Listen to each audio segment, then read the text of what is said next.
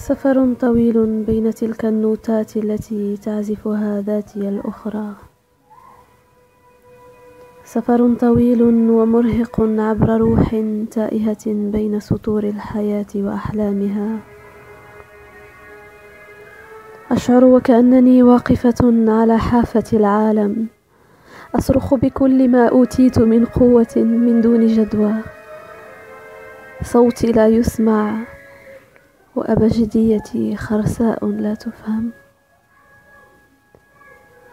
أعزف لروحي لحنها الحزين الوفي الذي ما فرقها منذ أن اكتشفت أن في أعماقها نوتات راقصة وصاخبة تعزف.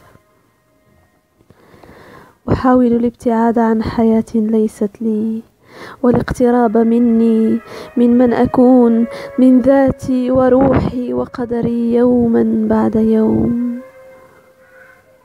لكن هذا السفر بات طويلا يا أمي.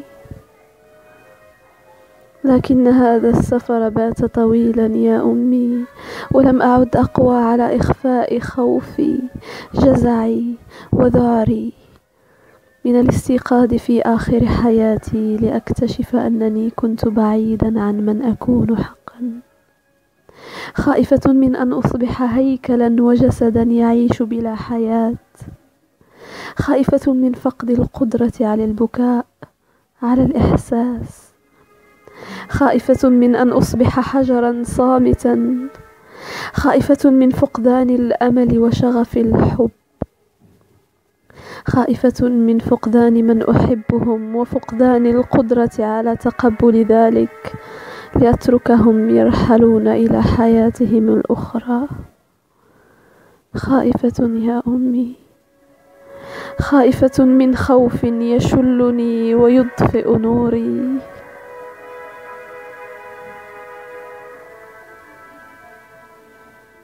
لماذا لماذا تهتز روحي لكل نوتة موسيقية؟ لكل قافية شعرية؟ لكل لحن خفي؟ لكل رقصة صوفية؟